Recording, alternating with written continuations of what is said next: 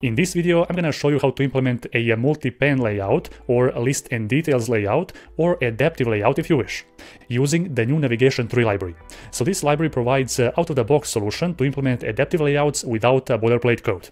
Now, in this example right here, we have a simple uh, home page where we are listing uh, multiple different items.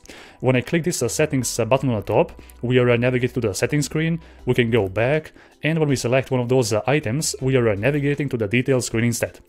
So pretty simple and a straightforward navigation structure. However, when I now rotate this screen, you will notice that now automatically we are going to see uh, both of these uh, destinations on our screen, because now there is enough uh, space in the width to display multiple different screens or destinations. Now in this case, uh, we can see a default uh, placeholder screen for our detail screen, which will be visible if we don't select uh, any one of those items in our list. So from here, if I now try to click a settings uh, button, then you will notice that uh, our settings screen will animate uh, automatically from the right side. And if I now click one of those uh, items from this uh, list, uh, then our details screen will appear right away. Which is great, right? And we can now of course go back to our home screen. And if I now click go back from here, we will see that default placeholder for our details screen as well. So now I'm gonna uh, open up uh, my project, which I have already prepared, and show you how easy it is to implement uh, adaptive layout in your app. So as you can see, this is our project, so we can start from our domain package. So we have a simple uh, data class that represents uh, one of those uh, items from our home screen, right? So here we have 10 different items that we are displaying in our home screen.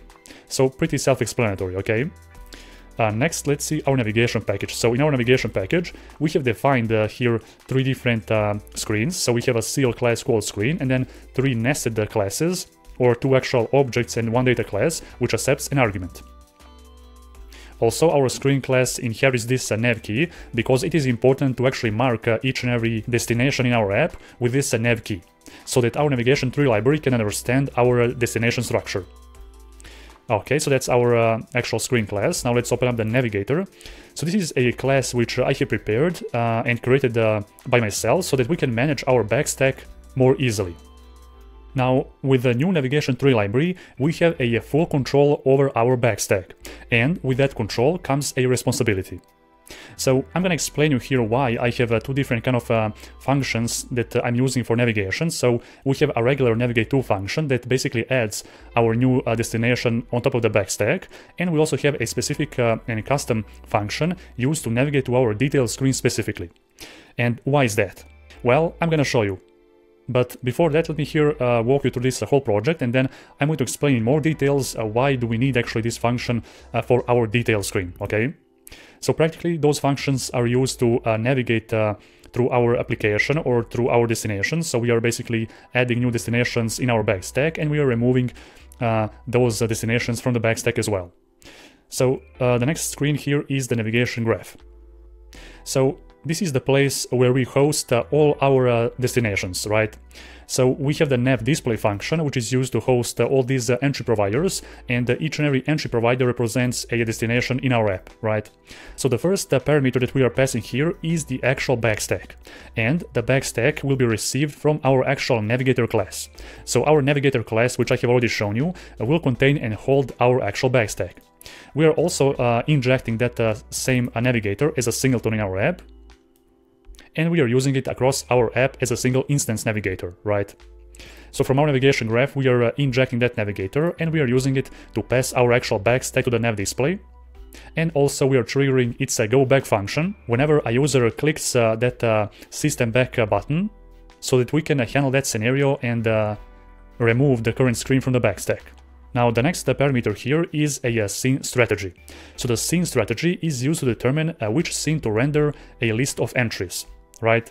So here we are passing this list and detail strategy, uh, which uh, actually calls this remember list uh, detail scene strategy function. One of the parameters that we are passing right here is called directive. So this directive parameter basically tells our navigation 3 library how to handle uh, list and details uh, screens in our app, okay? and that directive is also created right here based on this uh, window adaptive info. So window adaptive info is uh, practically a class that uh, holds an uh, information about our current screen, okay? And based on that information, the navigation 3 library will uh, automatically decide how to arrange our uh, destinations in our app based on the available width of the screen. So we are passing that uh, information to this directive or to this uh, calculate uh, pane scaffold directive function so that we can know and calculate the proper directive for our list and details strategy, okay? Now, besides this a list and details strategy, for each and every screen here that we have uh, passed as an entry provider, uh, we need to define a couple of things, like this uh, metadata parameter, okay? So in our case, the home screen is a list pane, right? And our details screen is the detail pane. So these uh, metadata parameters are important because uh, we ourselves uh, need to mark which one of those destinations in our app is a list and which one is details so that the navigation 3 library can properly display them in our adaptive layout when our app has uh, enough space so that our application can properly display multiple different screens at the same time when possible. And our list pane function right here also accepts the detail placeholder, which is a composable content to display in the details pane in the case when there is no any other nav entry representing the details pane in the backstack. The detail placeholder is uh, practically that uh, screen which we are seeing immediately after we uh, rotate our screen, when we haven't selected any one of those uh, items from our list screen or from our detail screen. So this is that uh, placeholder, which we have defined in this uh, detail placeholder. And this actual placeholder is just a simple composable function that in this case displays only a single text element. So that's how it looks like. It's very uh, easy and uh, simple. And uh, at the end, we also have this settings screen to which we are passing the metadata called the extra pane.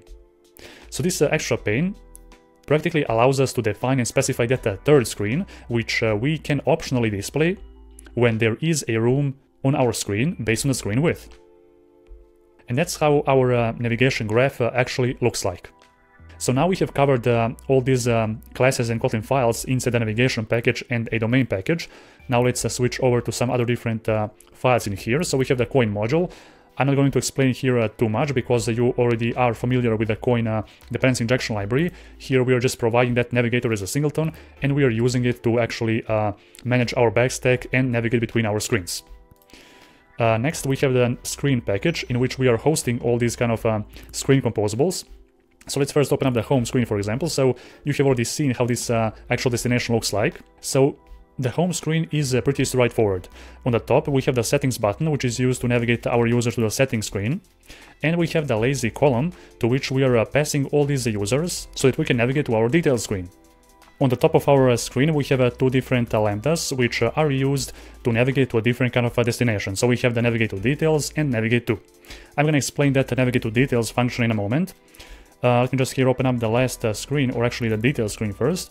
So here um, except that details a screen placeholder. We also have the screen that displays this information like the ID and the name, and we have a button to go back to our previous destination. And of course the settings screen, which just displays that uh, text and a button to go back as well. As simple as that. Now let me show you here uh, what will happen if uh, we try to navigate to the details screen by using that uh, navigate to function instead.